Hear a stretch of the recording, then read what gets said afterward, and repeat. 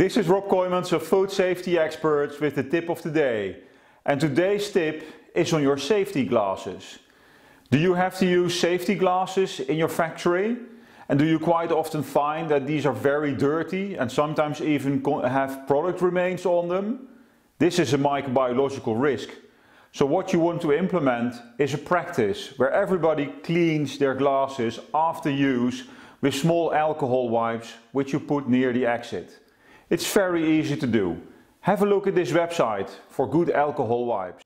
As you see each individual alcohol wipe is packed and you can buy it in sizes of 2, 3, 10 or just one box for trial.